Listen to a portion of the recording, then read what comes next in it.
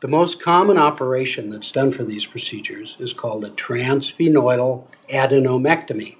It's called that because the surgery is done through the nose. When this operation is done, the surgeon comes in through the nostril into a sinus in the back of the nose.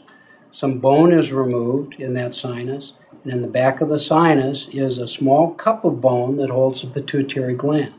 Once that bone is removed over the front of the pituitary gland, the surgeon, using a microscope, can see the gland, identify the pituitary and the critical structures around it, and then remove the tumor. Most of the tumors are quite soft, They're, they have the consistency of pudding. And the surgeon uses a long instrument with a little scooping device on the end that scoops the tumor out piecemeal and it comes out bit by bit.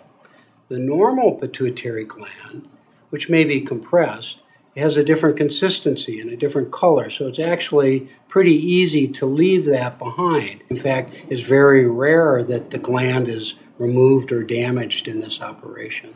Sometimes we need additional adjuncts. So, for example, we'll use a laser that comes down a special kind of a cable and can literally vaporize the tumor without affecting the nearby structures.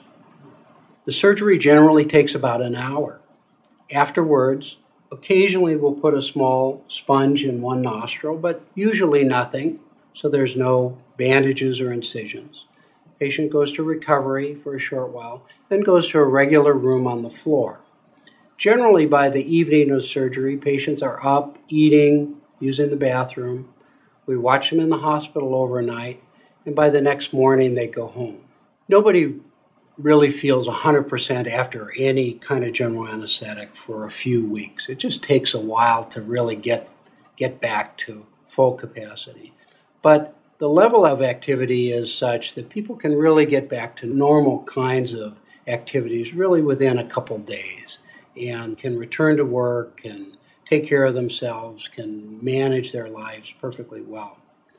What people do experience beyond those first few days is uh, some nasal congestion, a sense of fullness like you have a cold or an allergy, and a little bit of fatigue, just not, not feeling 100%.